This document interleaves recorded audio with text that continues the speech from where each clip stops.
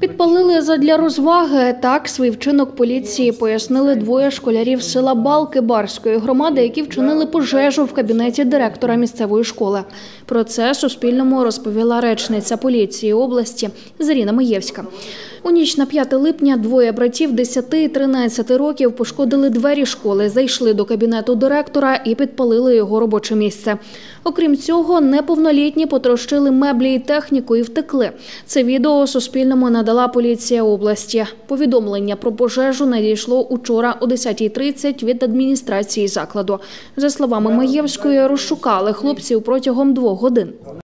З ними проведено бесіду за вказаним фактом відомості внесені до єдиного реєстру за частиною 2 статті 194 Кримінального кодексу України. Хлопці під час опитування повідомили, що це вони зробили заради розваг.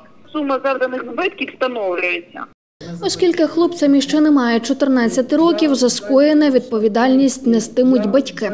З власних джерел Суспільному відомо, родина неповна. Мама самотужки виховує чотирьох дітей, троє малолітніх, один повнолітній. На обліку родина як неблагонадійна не перебуває, розповіла директорка з ювенальної провенції Жмаринського райвідділку поліції Вікторія Пономаренко.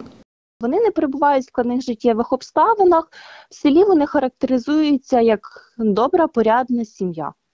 Мама працьовита, мама офіційно не працює, вона постійно на якихось таких підзаробітках, зараз вона на малині. Діти також на малину ходять, на клубніку ходили перед цим. І якби мама каже, не вгледіла цей день, каже, думаю, нехай діти відпочинуть. Тут і так вони відпочили.